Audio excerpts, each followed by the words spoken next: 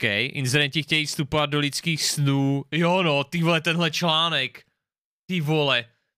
Normálně věci udělali veřejný dopis proti tomu, aby jsme chránili naše sny, jakože se už reálně uvažuje nad tím a diskutuje, jestli bychom měli mít reklamy i v našich snech.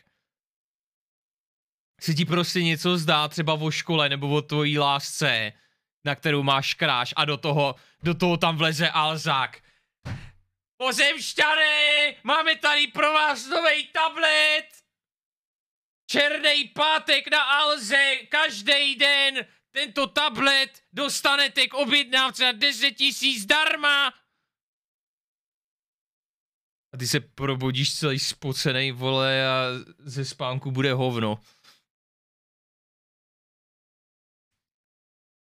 A tohle věci nech